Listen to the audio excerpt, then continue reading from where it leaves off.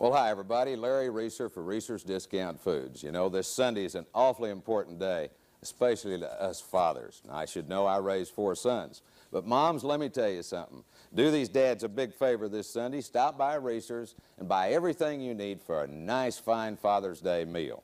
Now, you know, that's important to guys because we don't always like to go out and eat, you know. So, from Reasor's, we say to all you dads, salute. And as one father to another, happy Father's Day.